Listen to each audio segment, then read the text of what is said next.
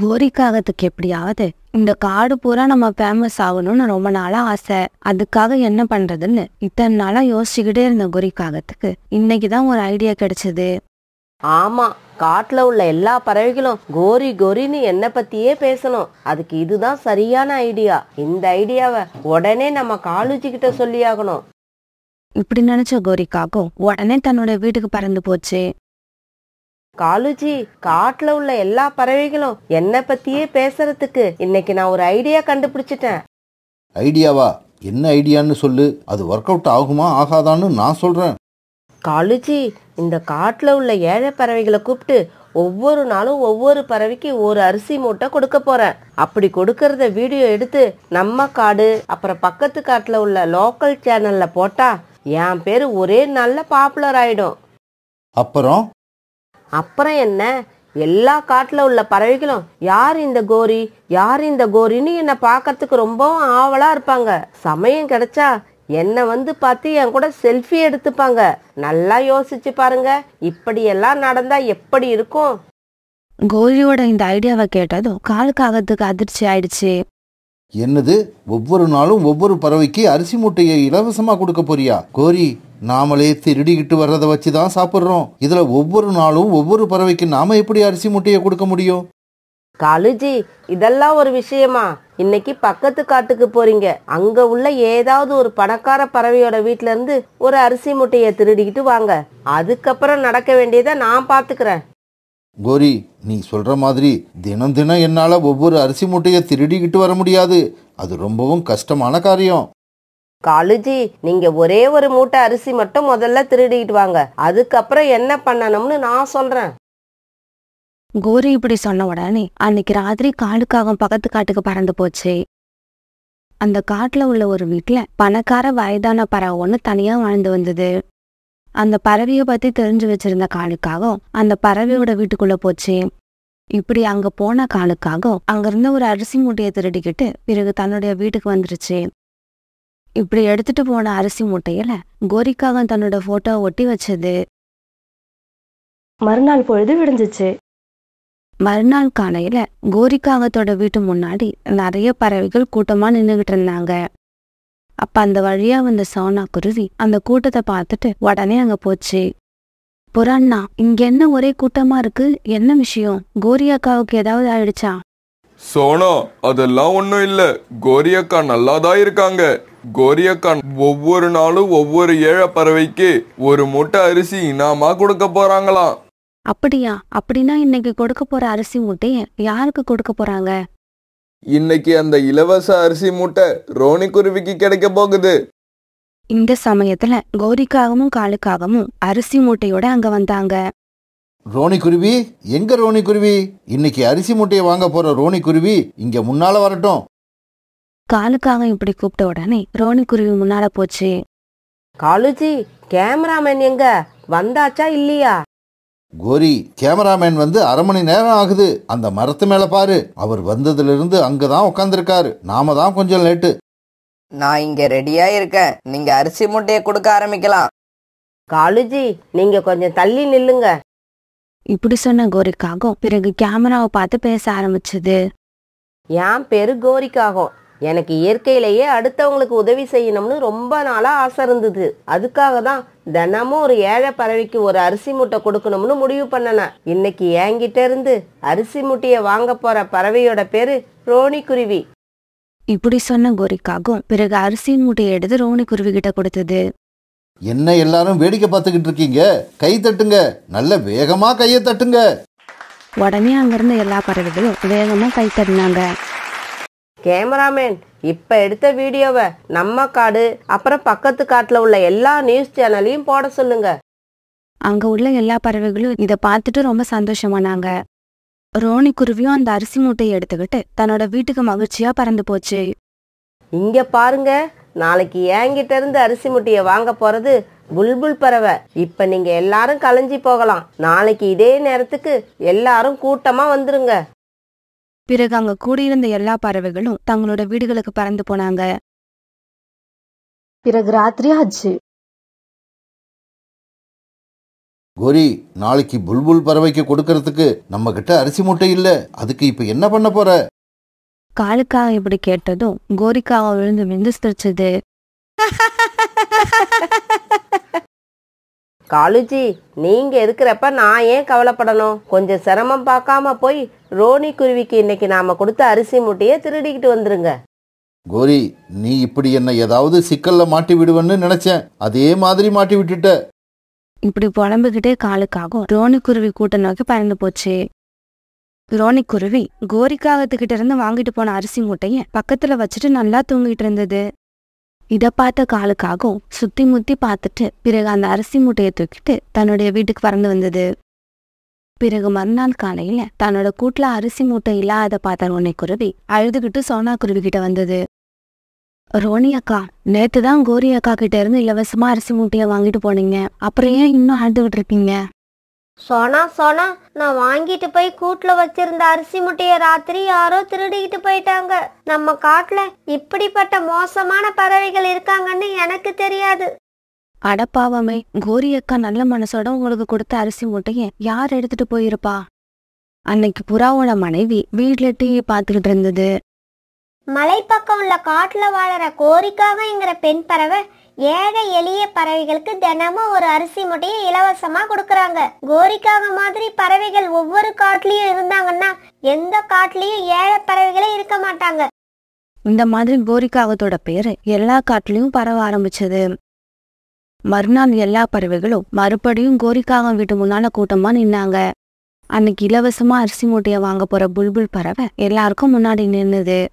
கோரி சீக்கிரமா எனக்கு கொடுக்க வேண்டிய அரிசி மூட்டையை கொடுங்க. நான் ரொம்ப நேரமா இங்க வெயிட் பண்ணிட்டு இருக்கேன்.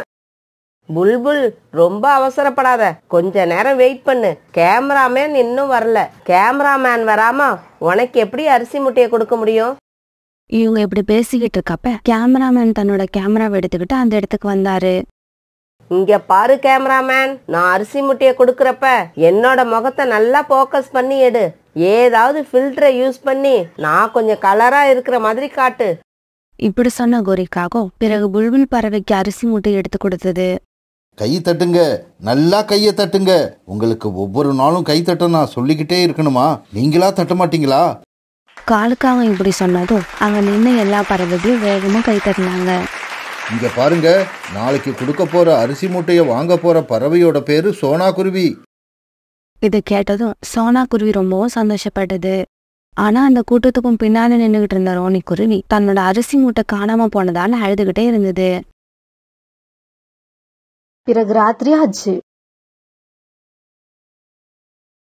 நல்லா இருட்டினதுக்கு அப்புறம் காலுக்காகன் தன்னோட வீட்டை விட்டு புல்புல் பறவை வீட்டை நோக்கி பறந்து போச்சு. புல்புல் நல்லா தூங்கிட்டு இருக்க சமயமா பார்த்து அது கூட்டுக்கு பக்கத்துல இருந்த அரிசி மூட்டையை தூக்கிட்டு தன்னோட வீட்டுக்கு வந்துருச்சு. காலுஜி நீங்க அரிசி முட்டையை எடுத்துட்டு வந்தத யாரும் பார்க்கலையே. கோரி அரிசி மூட்டையை தூக்கி முதுகுல வச்சதுக்கு அப்புறம் என்னை யாராலையும் பார்க்கவே முடியாது. ஏன்னா நான் காத்தை விட வேகமா பறந்து வருவேன். காலுஜி உங்களுக்கு ரொம்பவும் நன்றி. உங்களோட மனைவிக்காக நீங்க இவ்வளவு கஷ்டப்பட்டு வேலை பார்ப்பீங்கன்னு நான் நினைக்கவே இல்லை. அப்புறம் காலுஜி இப்படியே இன்னும் கொஞ்ச நாள் செஞ்சுக்கிட்டு அதுக்கப்புறம் நாம நம்ம காட்டுல நடக்கிற பஞ்சாயத்து எலெக்ஷன்ல நின்னா எல்லா பறவைகளோட ஓட்டும் கண்டிப்பா எனக்கு தான் கிடைக்கும். மறுநாள் பொழுது விடிஞ்சிச்சு.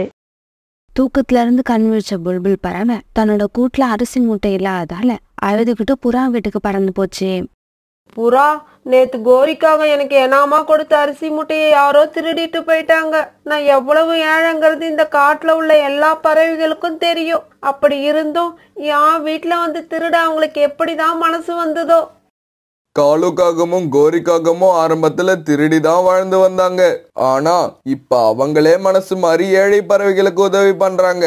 அந்த அரிசி முட்டையை யார் திருடுறாங்கன்னு நாம கண்டிப்பா கண்டுபிடிச்சாகணும். அன்னைக்கு காலையில கோரிக்காக வீட்டு முன்னால சோனா குருவி காலுக்காகவும் கோரிக்காகவும் அப்புறம் கேமராமேன் இப்படி எல்லாருமே ரெடியா இருந்தாங்க. நான் தினமும் இந்த மாதிரி ஏழை பறவைகளுக்கு உதவுறதால என் மனசுக்கு ரொம்ப சந்தோஷம் கிடைக்குது. என்கிட்ட இன்னும் நிறைய பணம் இருந்தா பத்து பறவைகளுக்கு பத்து அரிசி முட்டையை எனாமா கொடுக்க ஆசைப்படுறேன். ஆனா என்ன பண்றது? என்னோட வசதிக்கு ஒரே ஒரு அரிசி முட்டை தான் எனாமா கொடுக்க முடியுது? இப்படி சொன்ன கோரிக்காகவும் பிறகு அந்த மூட்டை எடுத்து சோனா குருவி கிட்ட கொடுத்தது. பறவைகளே உங்களுக்கெல்லாம் எத்தனை தடவை சொன்னாலும் அறிவே இருக்காதா? கையை தட்டுங்க. வேகமா கையை தட்டுங்க. காலுக்காக இப்படி கோவமா சொன்னதும் எல்லா பறவைகளும் கைத்தட்ட ஆரம்பிச்சாங்க. அப்ப திடீர்னு சோனா குருவி அழ ஆரம்பிச்சது. சோனா நீ எதுக்காக அழுவுற? என்னாச்சு? இந்த அரிசி முட்டையில ஏதாவது ஓட்டை இருக்கா? இல்ல இது அழுகு இல்ல ஆனந்த கண்ணீர். எந்த வருமானமும் இல்லாம நாங்க சாப்பாட்டுக்கே ரொம்ப கஷ்டப்பட்டுட்டு இருந்தோம். இந்த சமயத்துல நீங்க இந்த அரிசி முட்டையை கொடுத்ததுக்கு ரொம்ப நன்றி. சோனா நீ இப்பவே அழுது. கண்ணில் உள்ள தண்ணீரெல்லாம் வேஸ்ட் பண்ணாத. நாளைக்கு அரிசி மூட்டை திருட்டு போனதுக்கு அப்புறம் அழணும். அதுக்கும் கொஞ்சம் கண்ணில் கண்ணீரை மிச்சம் வச்சுக்க. என்னது என்னது? நாளைக்குனா அழுதாகணுமா? எதுக்காக அழணும்? அது ஒண்ணும் இல்ல சோனா. காலேஜ் அப்படிதான். சமயத்துல லூசு மாதிரி பேசிக்கிட்டு இருப்பாரு. அதையெல்லாம் காதுல வாங்காத. ஆனா காலுக்காகவும் கோரிக்காகவும் பேசுனத பார்த்த புறாவுக்கு அவங்க மேல சந்தேகம் வந்துருச்சு. ஒருவேளை காலையில அரிசி மூட்டையை எனாமா கொடுத்துட்டு ராத்திரி இவங்களே வந்து திருடிக்கிட்டு போறாங்களோ என்னவோ இதை எப்படியாவது கண்டுபிடிச்சாகணும். இப்படி யோசிச்ச புறா எல்லாரும் போனதுக்கு அப்புறம் அங்க இருந்து கேமராமேன் கிட்ட போச்சு. இங்க பாருங்க ராத்திரி பூரா ஒரு இடத்த வீடியோ எடுக்கணும். அதுக்கு எவ்வளவு பணம் வாங்குவீங்க? எனக்கு தேவை பணம் தான் அதை நீங்க கொடுத்தீங்கன்னா நான் எப்ப வேணாலும் எங்க வேணாலும் வருவேன். பிறகு அந்த கேமராமேனை அழைச்சிக்கிட்டு போன புறா சோனா குருவி வீட்டுக்குள்ள இருக்க ஒரு மரத்துக்கு பின்னால அந்த கேமராவை நிக்க வச்சது. வழக்கம் போல நல்லா இருட்டினதுக்கு அப்புறம் காலுக்காகவும் சோனா குருவி வீட்டுக்கு வந்தது. இப்படி வந்த காலுக்காகவும் கொஞ்ச நேரத்துல எல்லாம் சோனா குருவி வீட்டுக்குள்ள இருந்த அரிசி மூட்டையை தூக்கிட்டு தன்னோட வீட்டுக்கு பறந்து போயிடுச்சு. மரத்துக்கு பின்னால மறைஞ்சு நின்றுகிட்டு இருந்த புறா காலுக்காக வந்தது அரிசி மூட்டையை தூக்கிட்டு போனது இது எல்லாத்தையும் வீடியோல ரெக்கார்ட் பண்ணிக்கிச்சு. மறுநாள் காலையில வழக்கம் போல கோரிக்காகம் வீட்டு வாசல்ல எல்லா பறவைகளும் கூட்டமா வந்து சேர்ந்தாங்க. அன்னைக்கு கோரிக்காகம் இலவசமா கொடுக்குற அரிசி மூட்டையை வாங்குறதுக்காக ரீட்டா கிளி எல்லாருக்கும் முன்னால நின்றுகிட்டு இருந்தது. இங்க பாரு ரீட்டா இந்த அரிசி முட்டைய வாங்கிக்கிட்டு போறதால உனக்கு ஒரு புண்ணியமும் இல்ல. எப்படி இருந்தாலும் இது இன்னைக்கு ராத்திரி உன் வீட்ல இருந்து திருட்டு போக தான் போகுது. புறா அது எப்படி அவ்வளவு கரெக்டா இன்னைக்கு ராத்திரி திருட்டு போகணும்னு சொல்ற? அப்படி திருடிக்கிட்டு போக போறது வேற யாரும் இல்ல. இந்த காகங்கள் தான். அவங்க கொடுத்த அரிசி முட்டைய அவங்களே திருடிக்கிட்டு போக போறாங்க. இது பச்சை பொய். இந்த காட்டுக்குள்ள எனக்கு கிடைச்சிருக்கிற நல்ல பேரை இந்த புறாவால தாங்கிக்க முடியல. அதனாலதான் இப்படி பொய் பேசுது. கோரிக்கா இப்படி சொன்ன உடனே புறா நேத்து ராத்திரி தான் ரெக்கார்ட் பண்ணி வச்சிருந்த வீடியோவை ஒரு பெரிய ஸ்கிரீன்ல எல்லாருக்கும் போட்டு காட்டுச்சு. இதை பார்த்த காலுக்காகவும் கோரிக்காகவும் உடனே அந்த இடத்த விட்டு எஸ்கேப் ஆக பார்த்தாங்க. ஆனா புறாவும் சோனா குருவியும் ஏற்கனவே போலீஸ்ல போய் கம்ப்ளைண்ட் பண்ணினதால போலீஸ் வந்து அவங்க ரெண்டு பேரையும் அரெஸ்ட் பண்ணிடுச்சு. கோரிக்காக ஆசைப்பட்ட மாதிரியே எல்லா காடுகள்ல உள்ள நியூஸ் சேனல்கள்லயும் மறுநாள் இவங்கள பத்தின நியூஸ் தான் பரபரப்பா ஓடிக்கிட்டு இருந்தது. கோரி உனக்கு ஒரு விஷயம் தெரியுமா? இன்னைக்கு நீ ஆசைப்பட்ட மாதிரியே எல்லா நியூஸ் சேனல்லையும் நம்மளோட வீடியோ தான் இன்னைக்கு பரபரப்பா ஓடிக்கிட்டு இருக்கான். இப்போ உனக்கு சந்தோஷம் தானே? சோனா குருவி குடும்பமும் காலுக்காகத்தோட குடும்பமும் அப்பதான் அந்த காட்டுக்கு புதுசா வந்திருந்தாங்க. இப்படி வந்த இவங்க கூடு கட்டுறதுக்காக தனித்தனி மரத்தை தேர்ந்தெடுத்தாங்க. கோரி இந்த மரத்தை பார்த்தா இனிப்பான பழங்களை தரக்கூடிய மரம் மாதிரி தோணுது. அதனால நாம இந்த மரத்திலேயே கூடு கட்டிப்போம். காலுஜி நீங்க நினைச்ச மாதிரியே இந்த மரம் நல்ல பழங்களை தரக்கூடிய மரமாக இருந்தா எல்லா பழங்களையும் நாம மட்டுமே அனுபவிக்கணும். யாரையும் இந்த மரத்துல வந்து உட்கார கூட அனுமதிக்க கூடாது. அம்மா அம்மா நம்ம இந்த மரத்துலயாம்மா கூடு கட்ட போறோம். ஆமாம் பியூட்டி நம்ம இந்த மரத்திலேயே கூடு கட்டிப்போம். அம்மா இந்த மரம் நல்ல பழங்களை தரக்கூடிய மரமா?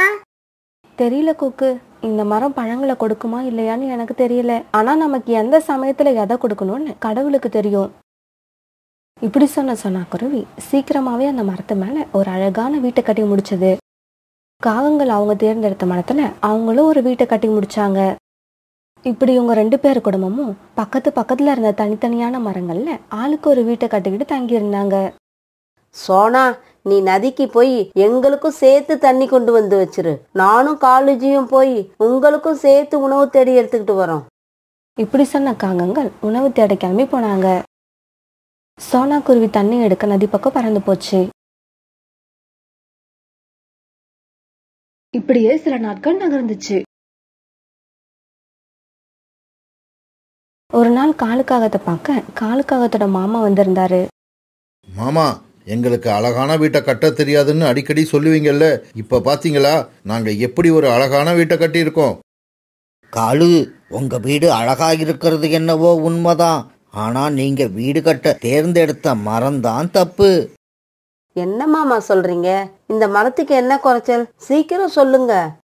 நீங்க வீடு கட்டி இருக்க இந்த மரம் புளிப்பான எலுமிச்சம் பழங்களை தரக்கூடியது. இதனால உங்களுக்கு எந்த புண்ணியமும் இல்லை. காலுஜி வீட்டை அழகா கட்டிட்டோம். ஆனா வீடு கட்டுறதுக்கான மரத்தை தேர்ந்தெடுக்கிறதுல கோட்டை விட்டுட்டோம். இப்ப என்ன பண்றது? ஆமா உங்க வீட்டுக்கு பக்கத்துல இருக்கிற வீடு யாரோடது? அந்த வீடு சோனா குருவியோடது சோனா குருவி அதோட ரெண்டு குழந்தைங்களோட அந்த வீட்டில் வாழ்ந்து வருது. சோனா குருவி வீடு கட்டி இருக்கிற மரம் இனிப்பான கொய்யா பழங்களை தரக்கூடியது. இந்த விஷயம் சோனா குருவிக்கு தெரியறதுக்கு முன்னாடி எப்படியாவது இந்த வீட்டை அதுகிட்ட கொடுத்துட்டு நீங்க அந்த வீட்டை வாங்கிக்கிங்க. அது எப்படி மாமா? கட்டி முடிச்சதுக்கு அப்புறம் யாருமே தங்களோட வீட்டை மாத்திக்க ஒத்துக்க மாட்டாங்க. காலுஜி அப்படி இல்ல. சோனா குருவி ரொம்ப இறக்க குணம் உள்ள குருவி. கண்ணை கசக்கிக்கிட்டு யாரு போய் நின்னாலும் உடனே அவங்களுக்கு உதவி செய்யணுங்கிற மனசு அதுக்கு இருக்கு.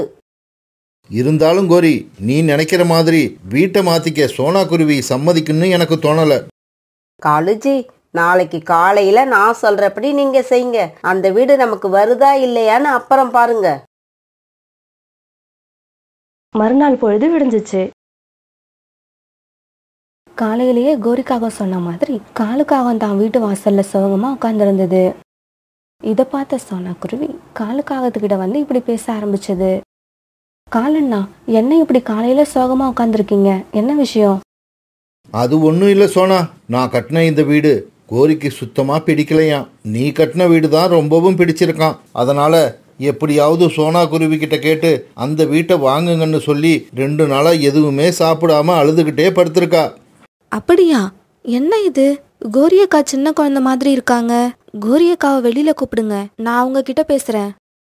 கோரி கோரி சீக்கிரம் வெளியில வா. சோனா குருவி உங்ககிட்ட என்னமோ பேசணுமா? காலுக்காக இப்படி கோரிக்காகத்தை கூப்பிட கோரி அழுதுகிட்டே வெளியில வந்தது.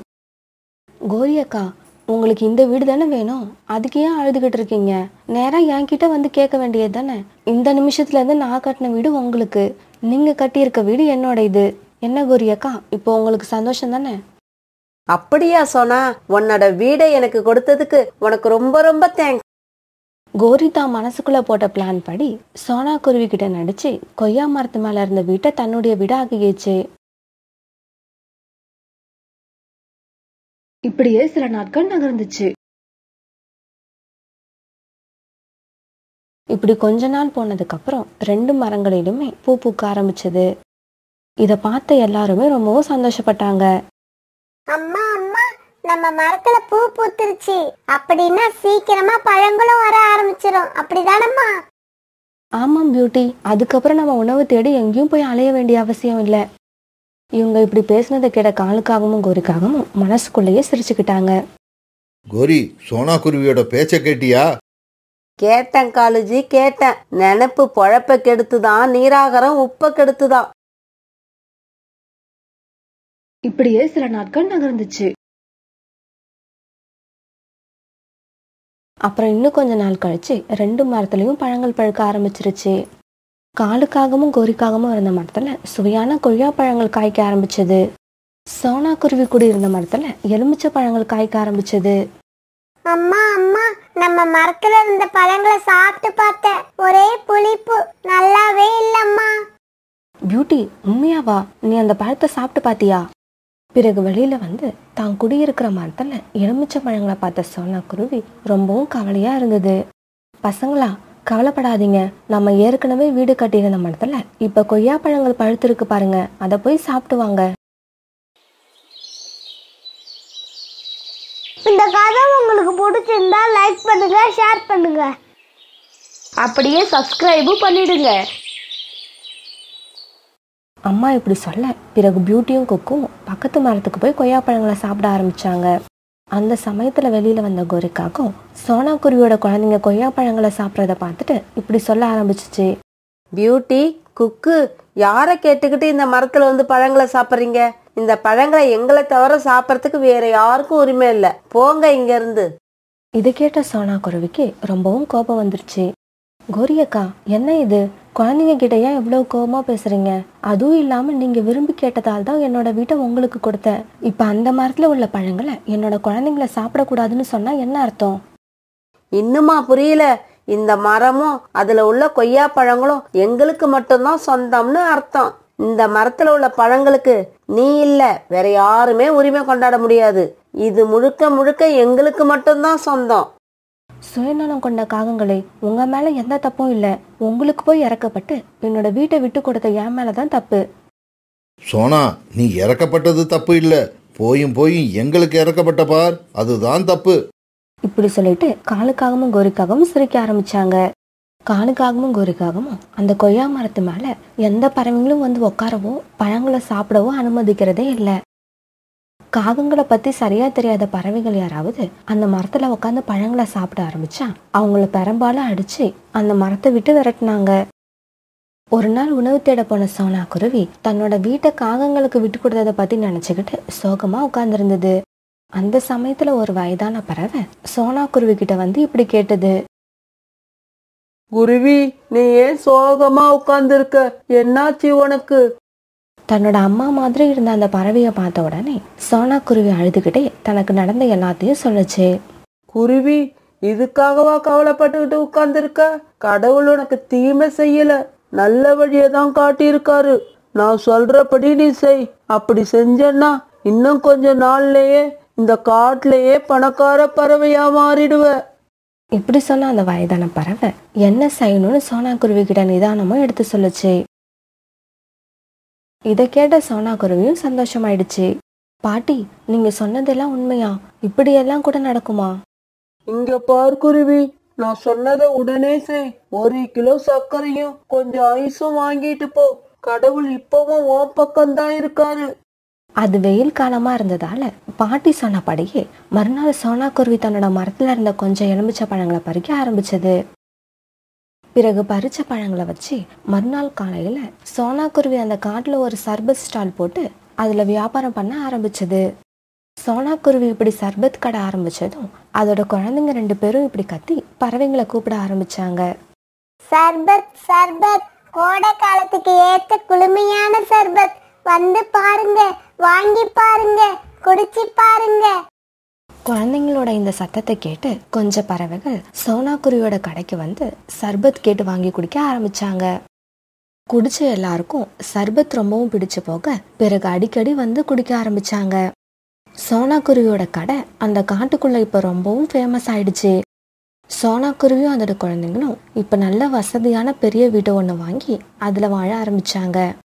இந்த விஷயத்தை எல்லாம் கேள்விப்பட்ட காலுக்காகவும் கோரிக்காகவும் இப்படி பேசிக்கிட்டாங்க. காலுஜி இப்படியெல்லாம் நடக்கும்னு தெரிஞ்சிருந்தா நாம அந்த மரத்திலேயே இருந்திருக்கலாம். கோரி அடுத்தவங்களுக்கு கெடுதல் செய்யணும்னு நினைக்கிறவங்களுக்கும் பேராசை உள்ளவங்களுக்கும் இப்படிதான் கையில கிடைச்சது வாய்க்கு கிடைக்காம போயிடும் போல இருக்கு. காலுஜி கொஞ்சம் கொய்யா பழங்களை எடுத்துக்கிட்டு வாங்க. கொண்டு போய் சோனா குருவி கிட்ட கொடுத்துட்டு ஒரு சர்பத் குடிச்சிட்டு வருவோம். இப்படி போன காகங்கள் சோனா குருவி கிட்ட கொய்யா பழத்தை கொடுத்துட்டு சர்பத் கேட்டாங்க. கோரி உங்கள் உங்க கொய்யா பழங்கள் எனக்கு தேவையில்லை. வேணும்னா உங்க ரெண்டு பேருக்கும் காசு வாங்காமலேயே ரெண்டு சர்பத் தரேன். குடிச்சிட்டு போங்க. அப்புறம் நீங்க ரெண்டு பேரும் ஒன்று தெரிஞ்சுக்கோங்க. ஏமாத்தணும்னு எண்ணம் உள்ளவங்க எல்லாம் கடைசியா ஏதோ ஒரு இடத்துல அவங்களே ஏமாந்து போயிடுவாங்க. இதை கேட்ட காகங்கள் ரெண்டு பேரும் அவமானத்தால தலையை குனிஞ்சுக்கிட்டாங்க.